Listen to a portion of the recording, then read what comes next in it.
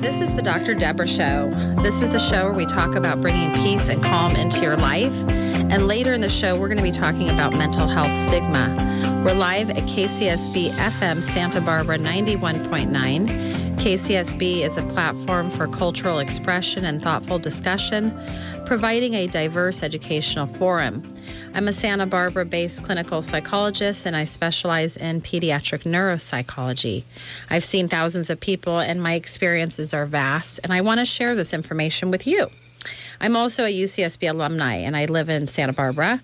This shows all about our community, both locally and globally, and how to create compassionate conversations about our well being and health. Today on the show, we're talking about mental health and well being with a focus on women's equality with our very special guest, Supriya Vani.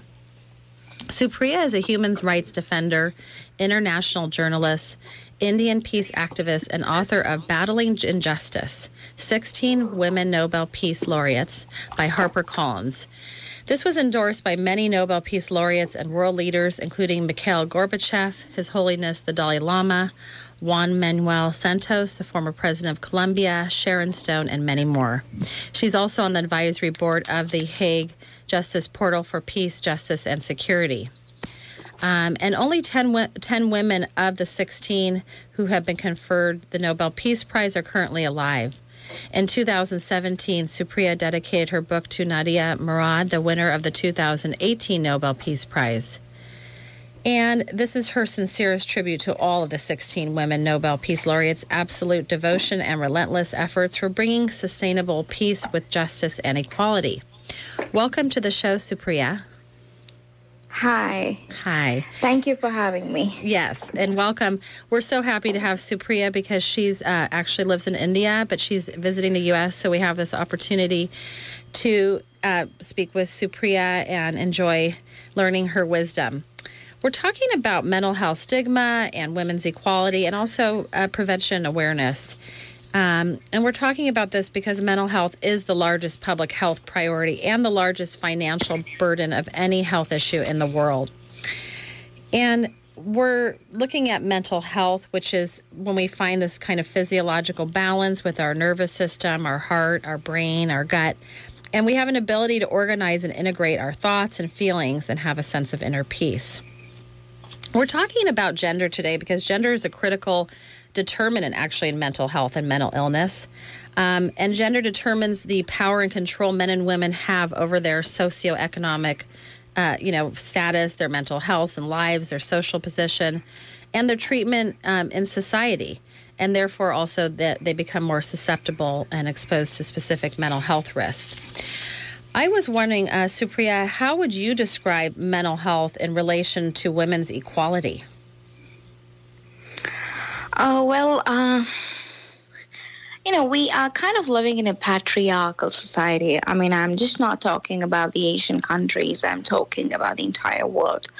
So we are living in a patriarchal, uh, you know, kind of a setup, and where women really do not have, you know, I mean, much rights and they don't have much say. And like specifically in like countries in India, Afghanistan, Pakistan, Bangladesh, and all those countries. Mm-hmm.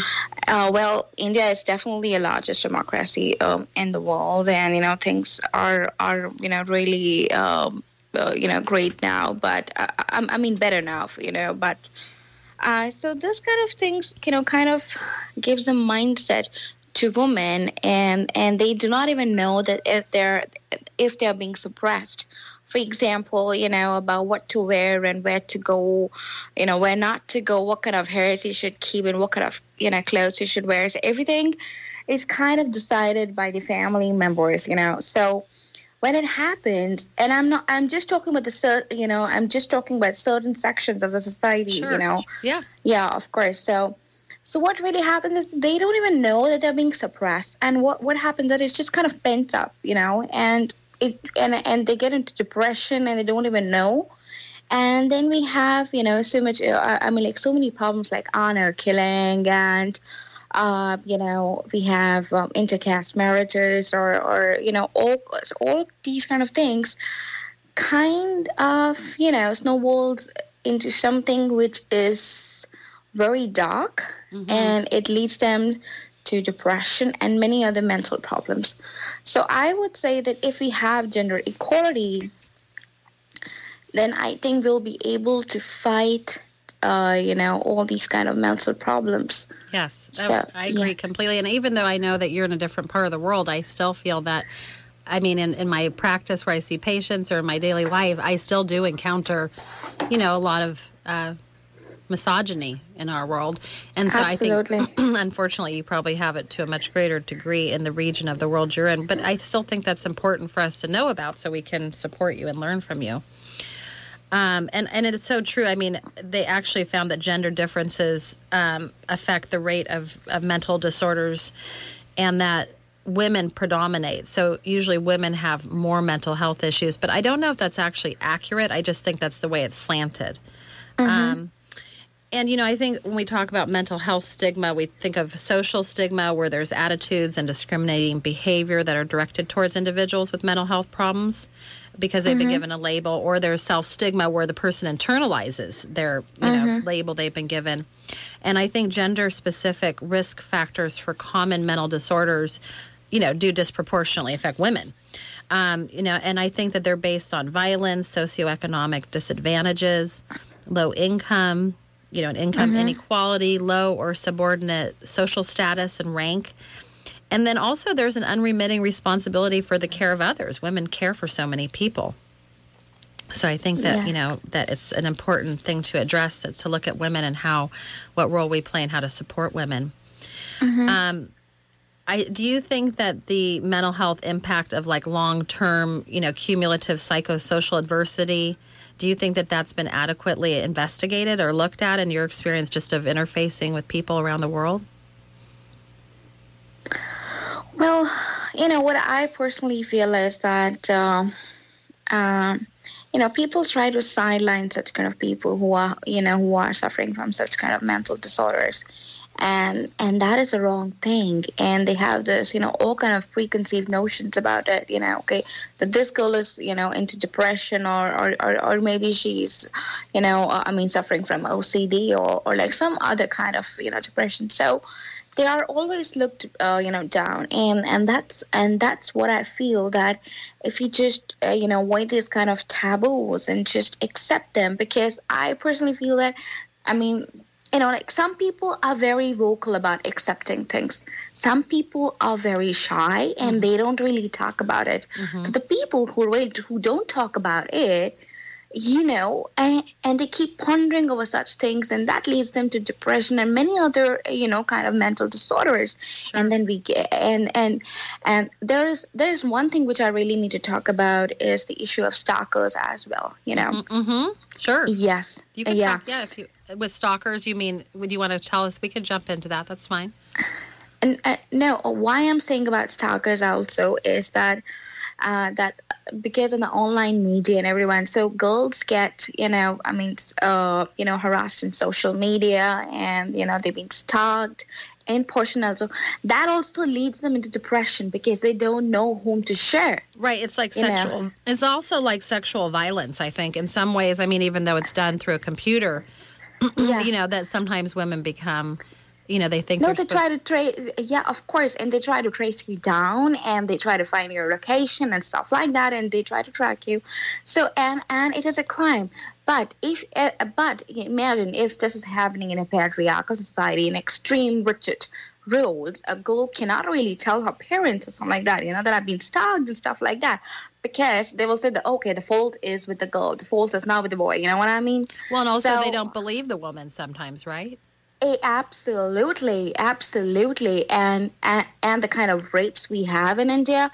I mean, India is a fantastic country, but you know, uh, but there are certain sections, uh, and I think that's a global issue. I, I, mean, like some news come up and some don't. And I think so, in, I think in America it happens not to that degree, but I do think it happens in, in the exact way you're speaking about, where women, you know, especially young women, have sexual encounters where they are taken advantage of or raped or abused. And mm-hmm. and then they go to tell someone and they're not believed or they have a lot of shame or maybe like you're saying their personality is more private and so they don't want to tell anybody. And and then also they start to question themselves and wonder if that's something they should have they deserve and that leads to suicide. And that leads to suicide. Exactly. Okay. Is that happening Exact- in india? Is that a common outcome Oh, you know what? I mean, uh, I mean, there, uh, there are certain states. I would not say the entire, uh, you know, entire country. No, there are just certain regions in India where if a girl is being, uh, you know, raped, so they will just say that it's the girl's fault. Okay, so they will say, oh, maybe she was not dressed properly. right You know what I mean? right they Oh, blame it on may- the, yeah. So it's just always go. Oh, maybe you know she was she was just you know I mean you know walking on the road at twelve o'clock in the night, or maybe that's the reason that she got raped. So Well, it's always women's fault. It's so fascinating because there's just this high prevalence of sexual violence to which women are exposed to. And then there's a corresponding rate of post traumatic stress disorder following, you know, like such violence, which renders women the largest single group of people affected by that disorder. and, and they and they and they see them you know through through the eyes of uh, victim and then they label them and stuff like that. So that leads to just you know suicide rates and many other things. I think the mental issues and everything starts from a very small age. You know when when your chil- uh, you know when your classmates kind of bully you you know for you know for not having a flashy iphone or whatever it is or, or no you know and not wearing bright Right. clothes or stuff like that. So you know i mean i mean very few people talk about it you know what a small child goes through you know in in all these kind of circumstances because he oh we're cutting. Are you there still? We got cut out. Up. Are you there, Supriya? so this kind of you know gives a base and then the problem starts Right. And I think from the time that we're children, I do talk about this on each show, you know, we notice the differences in others. And then we're taught to look at the world from the lens of our upbringing and the life experiences that shape us. And some of us, I think, are wired, you know, maybe we can overcome adversity easier. And some of us, like a thermostat on our, you know, how we use our temperature at our home.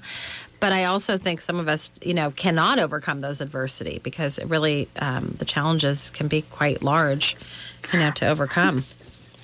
You know but we can uh but we can definitely overcome if you know like children are taught a very tender age about Right. kindness Yep. about compassion and to and to you know uh cherish the cultural diversity i mean to cherish the racial diversity and if you know if we kind of give them this kind of uh you know, based, and I don't think so that the mental problems and all the, you know, will be of that. Uh, Oh, know, I like agree. I agree. ratio. compl- I think we yeah, we need to restructure our gender specific ideas and also our economic and social policies. You know that cause. You know, sudden, disruptive, and severe changes to women and their income, their employment, their social capital.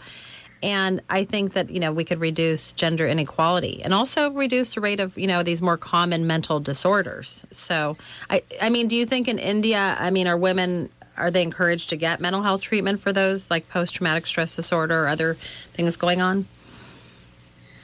Mm, I don't think so. Yeah. No, I don't think so. They don't even Um, think no, no, no. You know, they just okay, and because I, you know, as I mentioned earlier, that they don't even know that they're having some kind of mental problem, then they need to see a doctor. You know, Mm. Well, uh, you know, so that they yeah. feel easy and they feel, uh, you know, like a little comfortable. Just like you know, uh, I mean, uh, I- I mean, so this kind of talks are not really prevalent there in like certain sections of society. But if you talk about Delhi and Mumbai, and if you talk with elite section, definitely, you know, I mean, they do. I mean, they are pretty vocal about it. But but the normal person living in India won't even know, Right. and, and that's not only India. That uh, uh, That's global. Well, I I mean, I, say, think um, that's everywhere yeah. because stigma can just it affects all these feelings of shame, and then the person doesn't seek treatment, you know, and then they have these stigmatizing attitudes toward themselves. You know, they take on what other people think about them. And so, yeah, it's so important for us to take care of our mental health by being able to discuss emotions, thoughts, and feelings, you know, within ourselves. Um, do you think that you know this gender bias that occurs also like in the treatment of psychological disorders? I mean, is in India and other places you've traveled, do you notice if communities are having compassionate conversations about well-being and health, uh, mental health, or no? Absolutely, absolutely. exciting. You know, good. I mean, like people do talk about mental health and they accept people, you know, um, um, regardless of their background or whatever it is. Nice. So, uh, yeah.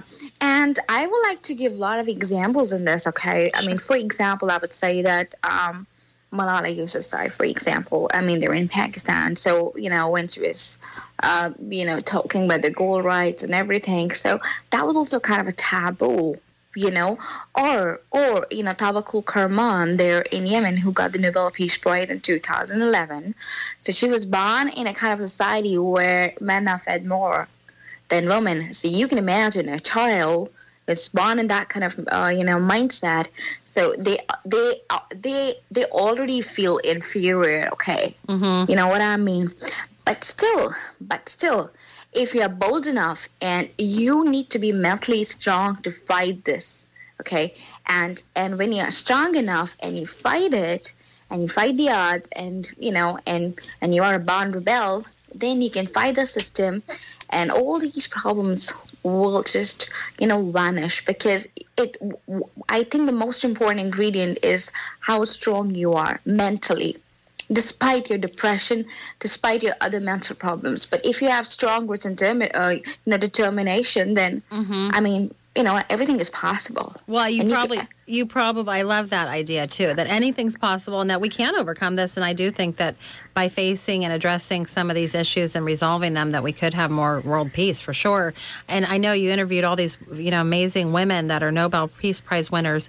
Is there anything universally they talked about about how to move toward that? Or what they tell themselves like you're talking about this kind of stamina internally of believing in yourself and even it's if you're just about believing in yourself mm-hmm. and just always be in pure bliss mm. that's that is the most important thing how do you and yeah mm-hmm. Mm-hmm, yeah yeah yeah yeah please go ahead oh i was just going to ask how do you think you you get um you know the pure bliss and also the when you know okay you know i mean it, i mean uh, there is a story i mean there are two wolves in us okay one is a bad wolf and one is a good wolf. Okay, so it just depends on you know how much you feed you know them so if you feed mm-hmm. the good wolf more then obviously you know then you'll be a good person mm-hmm. and if you have the right amount of compassion and kindness and like you know empathetic joy then these things do not really matter I, and I, you will say that mm-hmm. how to really gain it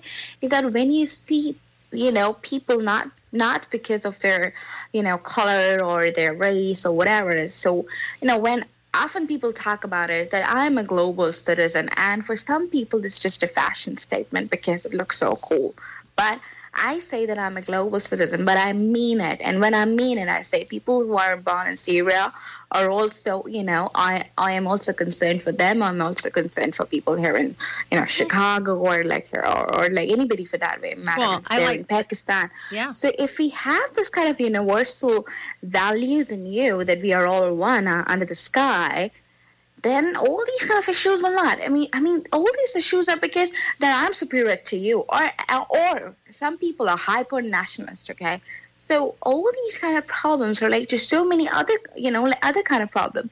It's just not the mental issues. There, I mean, I mean, there's much more to it, and they pass it on to their children, and they just hit people for no reason. So well, if you just avoid it and just stay calm and just see the world as you know that we are all one, mm-hmm.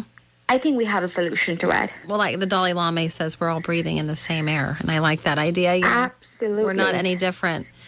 Right. So, kind of trusting this bliss within yourself, letting some of also the power from those other suppressing, you know, kind of dominating forces that are putting down women to not feed into that. And I know um, I have this minor in global peace and security I got here at UCSB, and, and we talked a lot about terrorism, you know, politics, the Middle East, and those topics. And one of the things we talk about is not feeding into the terrorist kind of attitude of, you know, giving them more power by living in fear or giving more voice to that. And really, like you're saying, giving more of a voice to yourself and not feeding into that. Um, because I think that actually this uh, hatred or you know suppression of women really um, can be like a terrorist on women and uh, terrorize us in many ways. And so I think we can turn to ourselves and really just let that float away and, and believe in ourselves and and also, I think we can find support from other people like you and I, or, you know, we kind of all work together. Mm-hmm. Um, but I just think that it's fascinating too that women do seek more help actually than men. And actually, they also disclose, just globally, supposedly, they do disclose more mental health problems to their primary care physician while men are more likely to see their mental health care provider and and maybe go into a hospital. Wait till it's completely you know much further down the road. Um, but i think that gender stereotypes regarding you know proneness to emotional problems in women and and they appear to reinforce this kind of social stigma and constrain help seeking along these stereotypical lines. So it's like a barrier um, that we have to overcome also, I just think it's a new way of thinking because, I mean, for so many centuries, right, we've been, women have been treated this way. So this is a very new, cutting edge idea. Mm-hmm. Don't you think? Yeah. Yeah, of course, of course, of course. I mean, I do think, I know you're saying that you don't think that mental health is the primary piece, but I also think if we were able to reduce mental health stigma and then we'd be more accepting of each other's differences, then maybe we no, can reduce violence. No, this no, this is it. This is very, very important. I didn't say that it's not. What I'm trying to say there is that this is the first stage, and if we if we fight this, if we fight this kind of battle, we'll be able to fight other battles as well. For sure. Well, and I know in America, women are less likely to disclose a history of violent, you know, victimization, unless like they go to a doctor and that person asks about it directly, which is very uncommon. Mm-hmm. How do you think that our healthcare systems could integrate, you know, asking questions about, you know, a, a woman's feelings in the world? Well, this can only be done that, you know, if you just become neutral and you stop judging people mm. because they are only fair because they don't want to be judged. Okay. So they don't they don't want to be judged and people judge so so quickly you right, know? Right so if yeah exactly. So if we can just get away with all this kind of judgmental mentality we have a solution to it. Well and i think that's that, what I, that's so true. I mean the labels stem from mi- misinformation and isolation and negative attitudes. And you know it's really like a it's like a lack of understanding about a behavior. And then, absolutely and then absolutely. that, and, you know and then that appearance of communication gets labeled as not being normal which leads to further rejection and then an increase in mental health and and also worsening of health conditions. So. Um, I do think, you know, I mean, at the crux of all of this, we just need to be able to talk about our well being and to discuss, you know, these emotions, thoughts, and, you know, feelings. Um, I mean, I know that studies do indicate that most people learn about their primary source of information is through mass media. Do you think globally that that's accurate as well, or how do you think the best sources of information are disseminated or given out? I think social media. I think social media. Mm-hmm. Yeah, uh, I mean, uh, I mean, there's so many videos, you know, about positivity, about how to fight the mental disorders and stuff like. Well, I had a friend, okay, so um, and she was suffering from schizophrenia, okay, and she was she was so helpless, and she used to drink her own pee, thinking mm. that she's saving water from the planet. You know what I mean? Right, that happens. Yep. Okay, and and her husband left her, and she was kind of abandoned.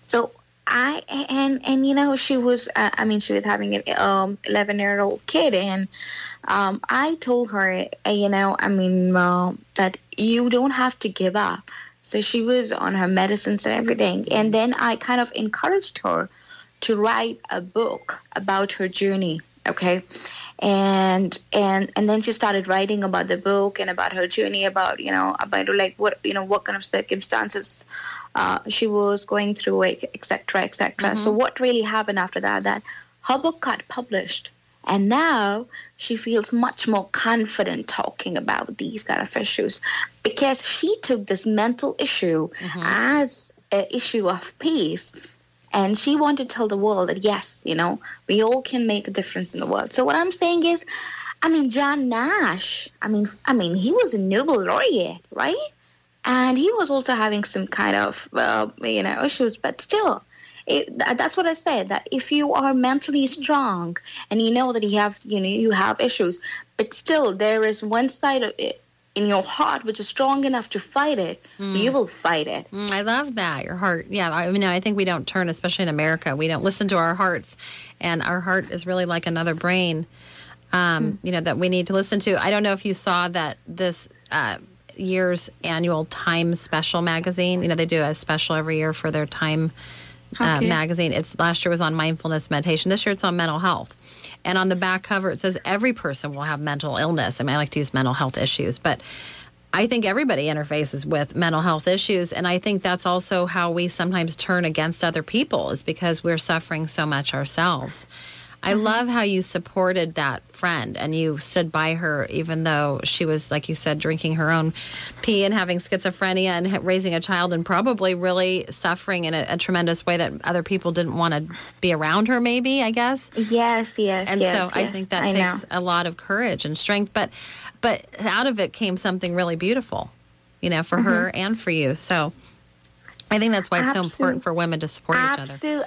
You know, absolutely. So what I just have to say that I want people not to give up, not to give up. Well, I personally was kind of suffering from depression. You know, I was in depression. Uh, you know, in like 2011 and 12, you know, things were not happening, and I was stuck, and you know what I mean. So. Yeah but yeah and like everything was was you know was was so bad and i used to feel you know crazy i mean like terrible but i just told myself that i'm not going to give up. Mm-hmm. i'm going to fight it. Mm-hmm, okay? the will to fight. I'm going to fight it. So i just started thinking that no i have to fight it no matter what.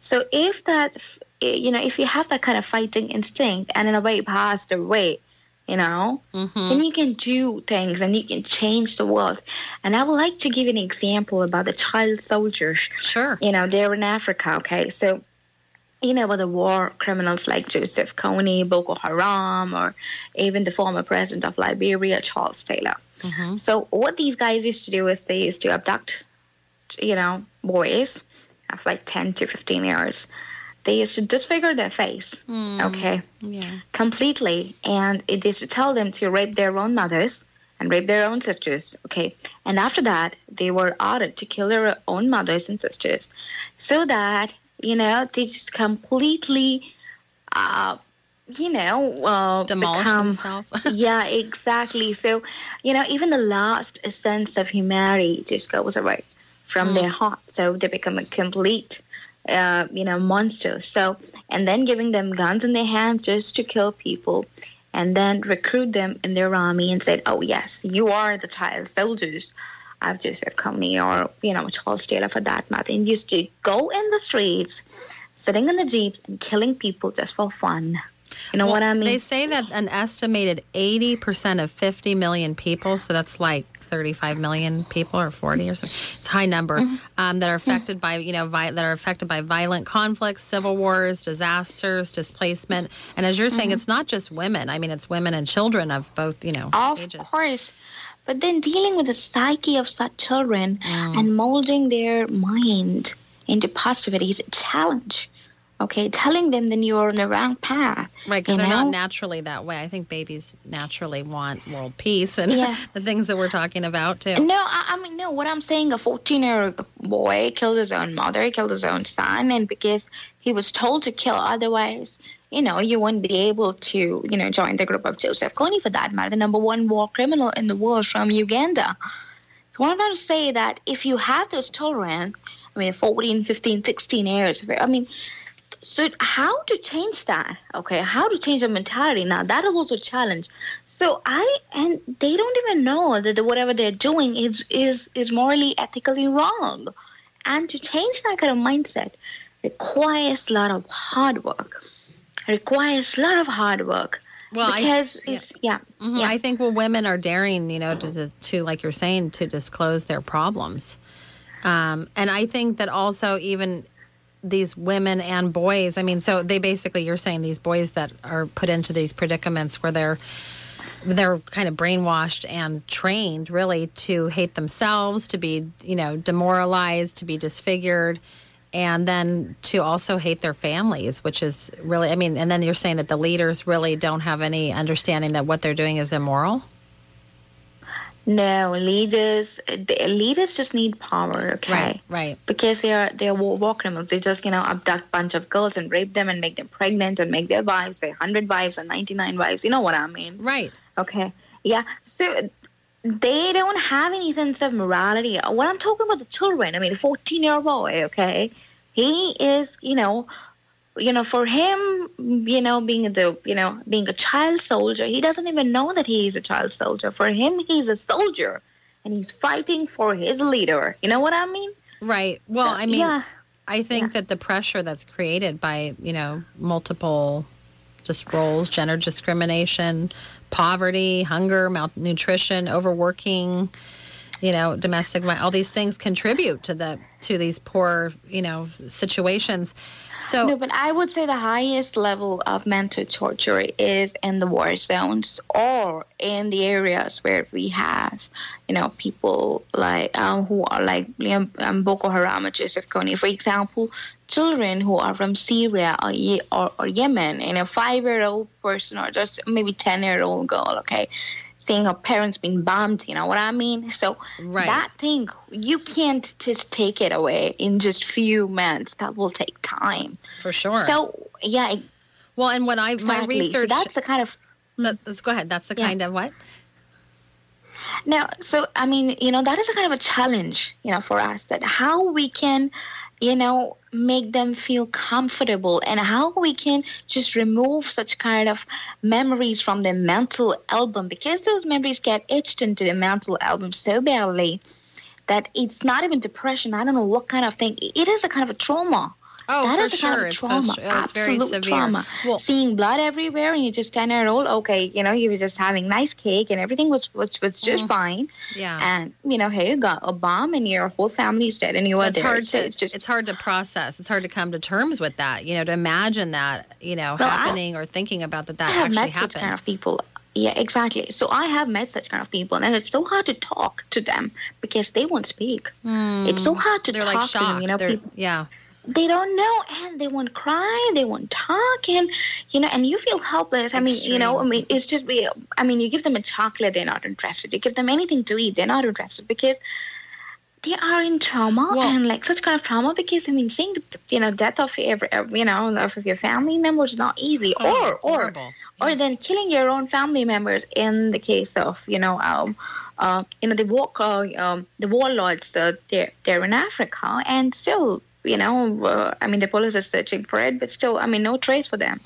Right. Well, the research I did is that in most central uh, cities and places around the world, those patients aren't recognized and therefore they're not treated. And the communication between like health workers and those patients is usually very extremely authoritarian in many countries, and that makes it hard for someone to disclose you know the psychological or emotional distress uh, that they've been through and and then when they do dare to disclose them i've I, I, mean at least the research i read is that many health workers actually tend uh, especially toward women to have gender biases which can lead them to to uh, maybe untreat or overtreat or undertreat the uh, the person I mean, do you think that these kids are able? You're saying that you've met with them. Are they able to get treatment? Is is there are there obstacles to that too for them to get help?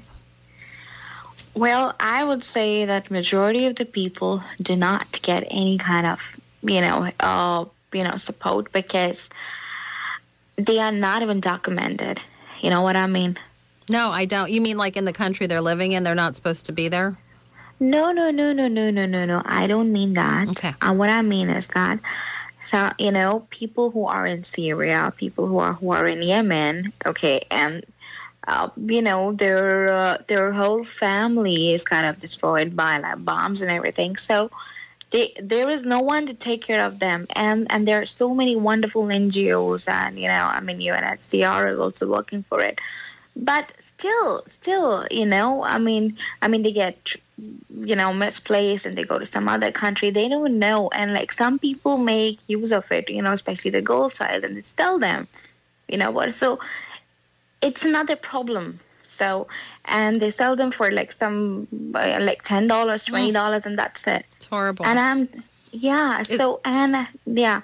So we have, you know, human trafficking in these. So a person who's got, tra- you know, got like trapped in human trafficking, I would be able to go to the health department and say, you know what, uh, this happened to me. He will never be well, able to make it. I think that's, that's, why it's important for just everybody, even if you're not a mental health worker or a medical care worker. I mean, I was, I remember I saw something on, I don't even have TV, but I did see something on a news blurb about a woman who uh, was an airplane uh, stewardess, and she saw this woman on this plane with this man, and the woman looked very dazed and out of it. And she just kind of trusted her intuition to check in with that woman because the woman, like you said, wasn't talking. She wasn't answering any questions, and she just knew there was something awry, you know, missed something off, and ended up connecting with her somehow and turned out she was a human trafficking you know they were trying in america they were trying to take her out of america and so you've got mm-hmm. girls, you know, young girls here and boys being trafficked. I mean, how do you think we could work like as a global community to to resolve that, to stop because I do think that that relates to mental health stigma actually because I think that children also are stigmatized and taught to believe that they're less than. And well, yeah, yeah. Uh, well, like speaking about human trafficking, you know, I mean, Nadia Murad, who got the Nobel Peace Prize on 10th of December, was a former sex slave of ISIS. Mm. Okay. Yeah. So she was lucky enough to escape, and then she got the support of Amal Clooney, and of course later on, you know, Angela Merkel, and and you know her story can just, you know, will was just, I mean, rip you apart the way she was actually molested, and all the Yazidi girls were were were molested by ISIS, you know, gang raped, and they used cigarette butts and whatnot to harass all these women. So uh, you know, you, you said that how we can work against human trafficking. Well, there are all so many wonderful organizations like Kailash Satyarthi uh, you know, Foundation, and he got a Nobel Prize in 2014 along with Malala Yousafzai. And there are so many organizations, you know, and what they do is that they kind of keep a track of things and they're very very vigilant about you know if there is a small girl going on a train uh, uh, you know with a strange kind of a man and she's not feeling comfortable to just call you know the police and just to show that that you know just to make sure that that girl is you know kind of related to that man or is being abducted you know right I, mean? I, think in america too i mean if we do see something suspicious it is i mean i think we're taught not to call the police here but i know my practice like i have patients that have things going on that are clearly you know should the police should be called and i think that sometimes people think they're going to get arrested but you know the peace will come and keep what they call keep the peace at least in america they do that Mm-hmm. Yeah, and also j- just if you see something suspicious, to act on it. It doesn't mean you may be incorrect, but I mean you also might save somebody else's life too from absolutely you know, absolutely but you know people won't do it because some of them are like oh why should i bother for this you know right so it's also you know, changing I mean, our mentality are, mm-hmm. Exactly some people are so indifferent they don't care and uh, I mean, they, I mean, actually, they need help to be a little more compassionate, but, you know, because if you're not compassionate to your fellow human beings, then we're just like animals, you know. Well, I know. I think we've kind of lost our way with our uh, using our compassion because compassion is built into us. I mean, it runs from our brainstem to our mm-hmm. lungs, to our heart, to our gut. And so it's a very natural part of us, but I think we've just forgotten it. We've like moved so far away. And I think that also just that our world is at a crucial crossroads and people are feeling the the pressure from that and some people do things that are abusive and hurtful to other people and some people, you know, collaborate and work to try to create more peace. So it's there's a division there.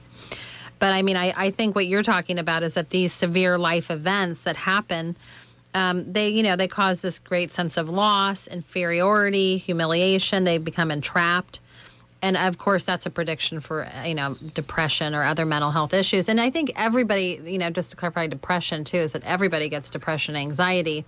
I think you know obviously some people have it to the point where it takes over their days and it's okay. You know we we all get that where we feel like staying at home having some mashed potatoes or you know being in our pajamas or not talking to people. I think the key is how to to know what you need and how to check in with yourself um, mm-hmm. and allow yourself to feel those things because we're not going to feel great all the time. And then that will allow us to be more present for other people, you know, and then stand up for things you believe in or or research issues that are important to you, like what we're talking about with women's. And, and I, I guess we're just talking really about reducing violence in the world. Um, and creating this peace, right?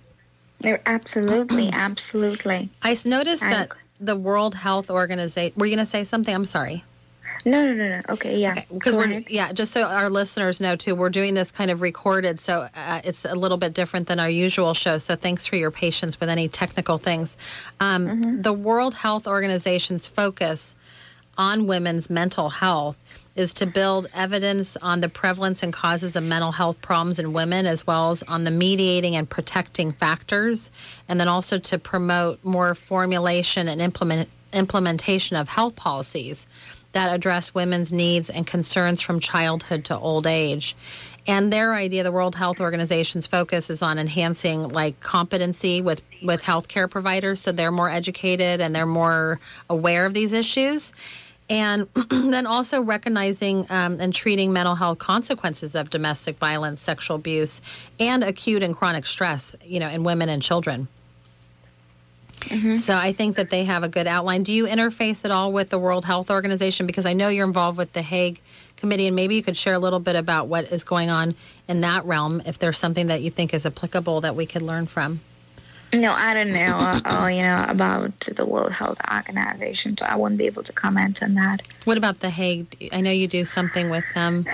Well, it's, it's just about, uh, well, it's just about, uh, you know, the war crimes. You know what I mean? It's just about the war crimes, and mm-hmm. it's uh, and it's serious violation of human rights. So it is it is about when you are when you're actually dealing with the monsters, you know, and you know, you know the tyrant rulers and stuff yeah. like that. Why so it is and of course, um, um, it, it's just about, uh, especially about the war, you know, like war crimes and human trafficking, uh, cyber crime, and so, so, all these kind of things. Well, and I mean, those are really at the tip top of, of what makes you know things kind of go haywire. Mm-hmm. Um, Yikes. Yeah, so you're how why do you think there isn't like a hard and fast kind of line, you know, like drawing a line in the sand so to speak? Of these violations against human rights? Well, there is a violation of human rights. I know, I know there is, but I mean, how come there isn't more action? Like, why aren't they saying, okay, no, this is absolutely not allowed. This is what we're going to be doing to address this in these different. I know because I'll tell you what. Okay, well, I want to clear one very important thing, which is people think that yeah, like we all think that war is bad, but you know what?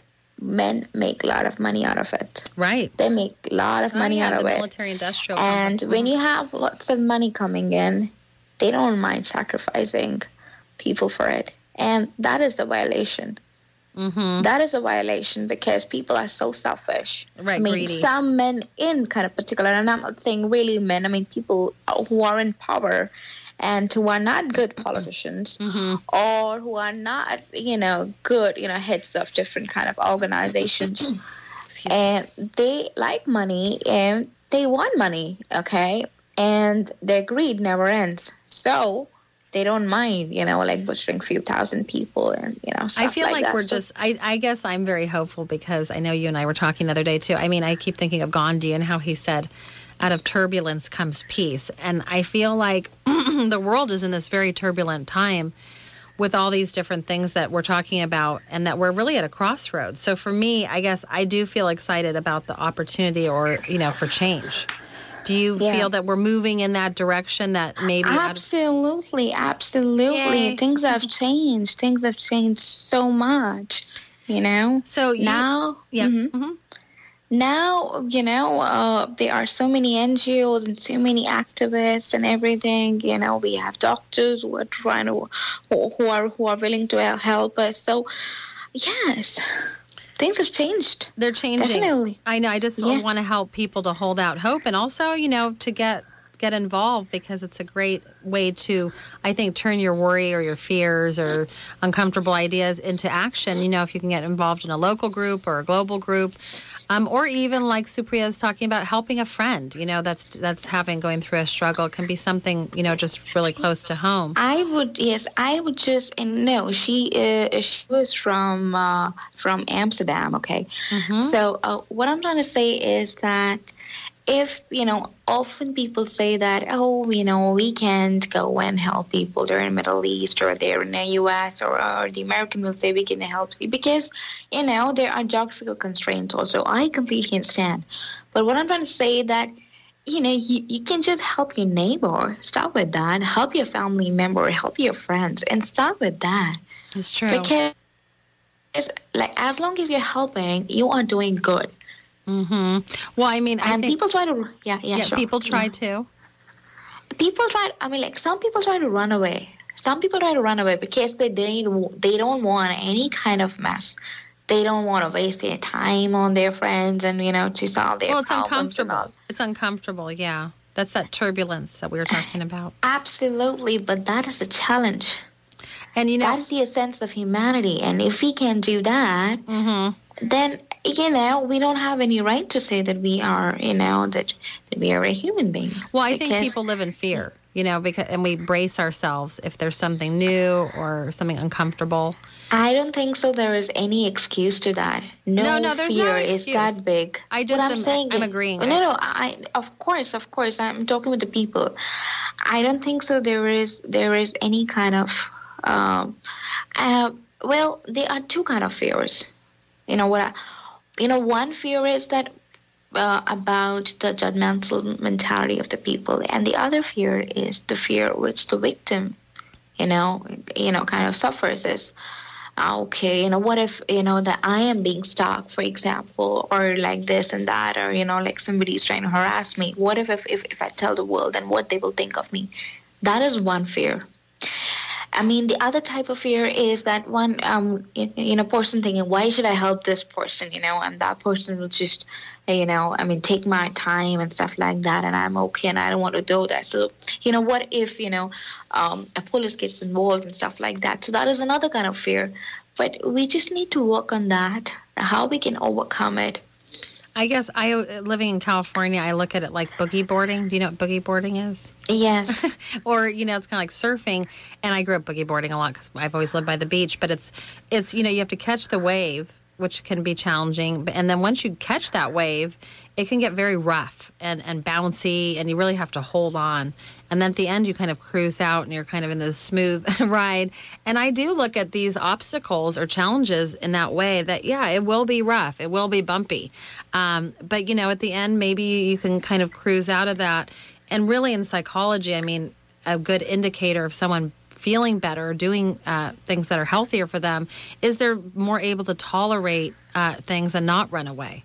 And I also think we're more evolved than that. I mean, that's a very primal way to respond to problems is to run away. But I do think we've become that way, you know, like fight or flight, like a lion's chasing us, but we're not being chased by lions. I mean, we kind of are, but not not literally for our survival. I think we can use our minds and our hearts, like you're saying, and and evolve and grow. Absolutely. Do you, how do you feel that women's equality you know, supports or could help a person through a mental health crisis? I know you've given some good examples. Um, but I mean, how do you think? I know you're talking about if we had more women's mental health or women's uh, ideas and these different leaders that you've interviewed, how they've um, implemented that into their life. How do you think that women's equality could help a person through a mental health crisis by, you know, believing in that or understanding that or using that?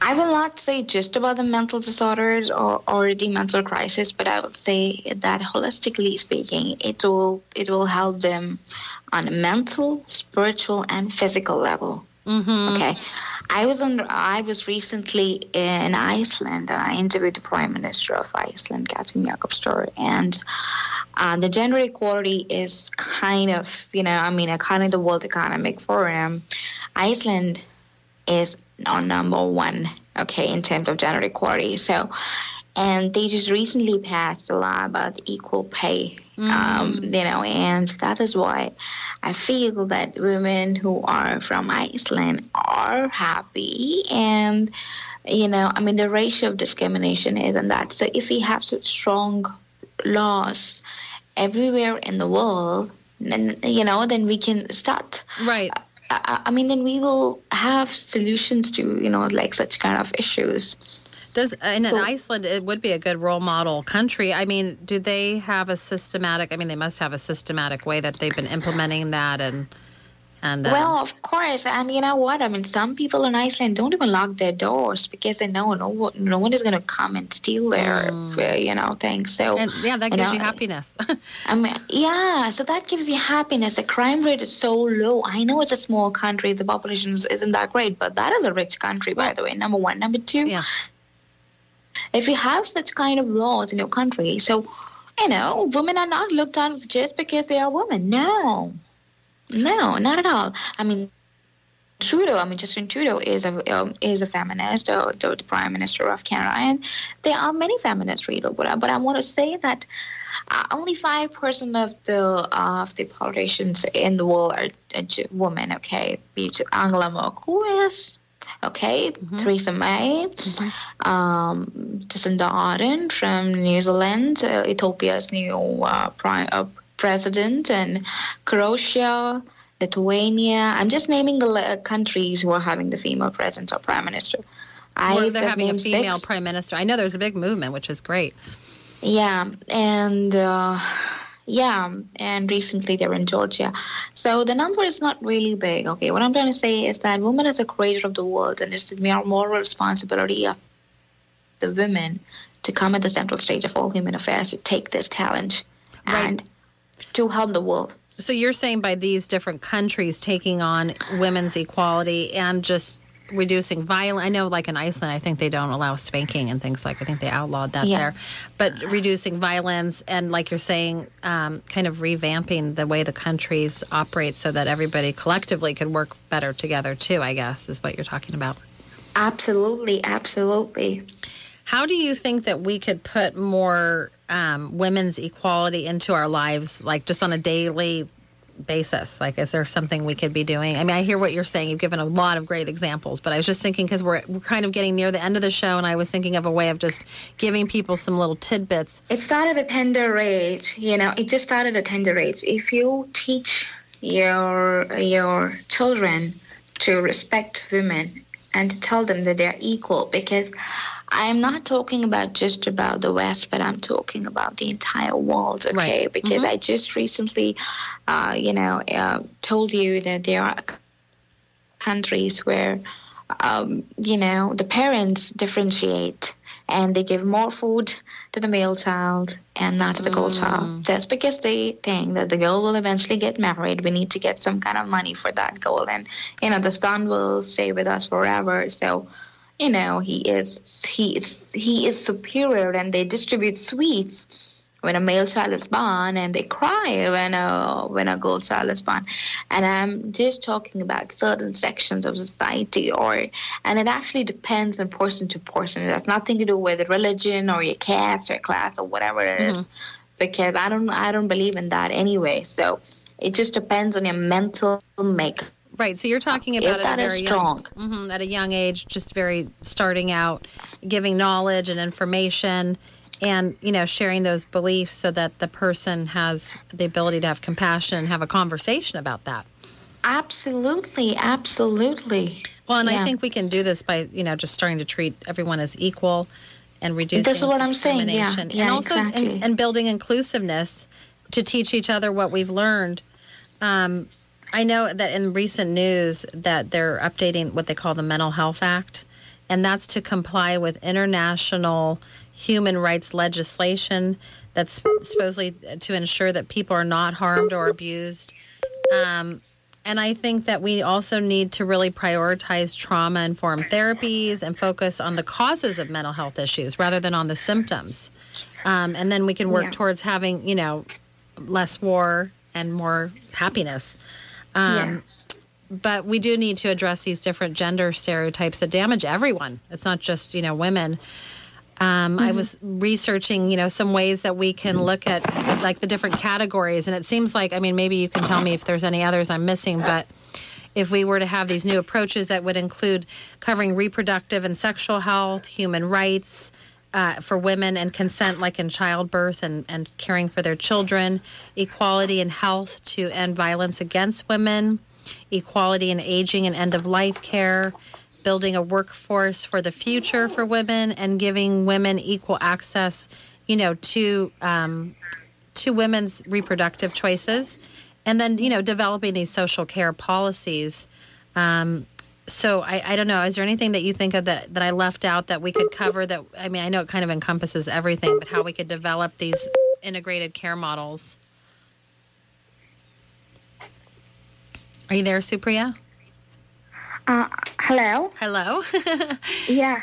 Yeah, I couldn't hear you. I'm sorry. Oh, that's okay. There was a We're, problem. We, we have just a couple minutes, but I was just kind of wrapping up and covering how we can address, you know, these early gender stereotyping um, perspectives that damage everyone, and how we can address the different kind of categories of, of areas that this covers with women's equality and, and how you know human rights.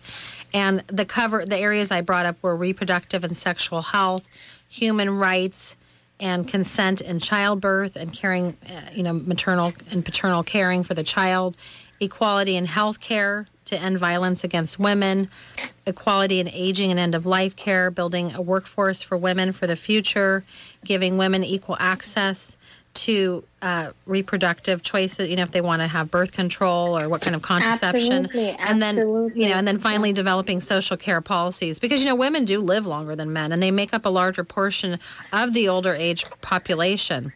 Um, and so I feel like we really, if we, like you're saying, we could start really at birth and then go through the whole lifetime in these different areas. Is there any other areas that you're thinking of that are important for for reducing these stereotypes and? Yeah, we should have strong laws. We should have strong laws for it. Yes, You know? I agree completely. Yes, exactly. I'm, Yes, I'm looking to you to help keep keep doing this important work that you know that you've really. I know that you're you're traveling in the U.S. right now. I want to personally thank you for doing what you're doing because since I can't be out there, you know, or my family, we can't be traveling. Thank you for you know going and speaking up for something that's so important for all of us. Oh, thank you very much for your kind words. And, you know, as I said, we should always, you know, try to do whatever we can do in our human capacity, you know, because we don't want to cut a sorry figure in front of our children when they ask that, Mama, when, you know, when the world was like this, so what was your role? Okay, Right. so during the crisis, exactly. So it's just about it. So, so, you know, I mean, whatever we can do. So whatever we can do in our uh, in our human capacity, we should be doing it. Well, thank you for coming on the show. I mean, I so appreciate your your thoughts. Do you have any final words of wisdom for our listeners? I would just say that do not give up. Do do not give up and have the mental strength to work for it. And that's it. Because you can defeat the world if you have the right mindset. Hmm. And it's it's your mind which can take you to places. It's your mind. And if you're mentally strong, you can, you know, I mean, you can battle anything. Okay, well, I mean, I think like, so. What Supriya is saying is that if you kind of just keep your mindset strong, and and don't give up, things might you know get hard or rocky. Uh, just kind of believe in yourself, and also just find your bliss, enjoy the world, and I you know I think we can work Hello. together to help create you know a supportive environment and that can empower and care for the individual. And some ways we can work together are volunteering, checking in with ourselves, learning about other cultures, getting accurate information from accurate, reliable sources. And this can lead to this understanding, including, and caring. Can you imagine a world where we can share our feelings and thoughts more freely? And so, if we each do our part toward ending these negative perceptions and raise awareness, we can live in a more loving, safe, and healthy world. So, I want to thank my Definitely. Special guest, Supriya Vani, for coming in today and sharing her wisdom. Thank you for having me. Thank you for your kind words as well. Yes. Oh, and I'm so glad that you came in, and I'm hoping that people can really learn from this and implement it in their lives. If you have questions, please write to me on my Facebook page, The Dr. Deborah Show. I also wanted to put out a shout out to HopeNet of Carpinteria. Um, HopeNet serves our community to work toward prevention awareness for suicide. And if you know someone um, who needs help, call the National Suicide Prevention Hotline at 1 800 273 8255 or the Santa Barbara Access Line at 1 888 868 1649. Thank you so much, and we'll talk to you next week.